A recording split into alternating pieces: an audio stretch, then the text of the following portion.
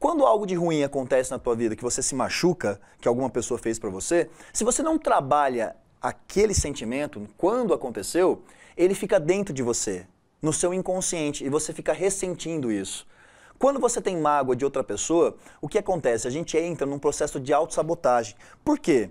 Porque se alguém fez algo para mim, me traiu, ela passou o pé em mim, me enganou, ficou devendo, sei lá, qualquer coisa que tenha gerado uma mágoa, um ressentimento, quer dizer o quê? Que eu sou o quê dessa situação?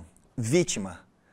Porque se eu não fosse vítima da situação, eu teria relevado, teria perdoado, esquecido. Mas como eu guardo mágoa, eu continuo sendo vítima daquela situação.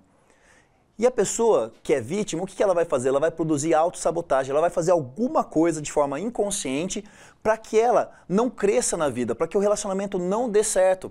Porque se ela começar a crescer, evoluir, se tornar uma pessoa melhor, ela deixa de ser vítima da situação. Mas como ela tem que continuar sendo menor que a outra, porque a outra venceu, eu sou vítima, olha o que ele me fez. E aí ela não consegue progredir.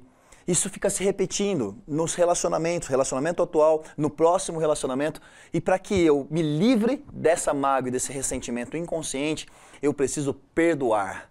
Eu tenho que perdoar o que a outra pessoa fez e me libertar dela. Ah, Polose, mas você não sabe o que o meu marido, minha ex-esposa, sei lá quem fez para mim, o meu marido atual, qualquer coisa assim. Você não sabe o que ele fez para eu perdoar essa pessoa. Não importa o que essa pessoa fez, porque o perdão não é para ela, o perdão é para você.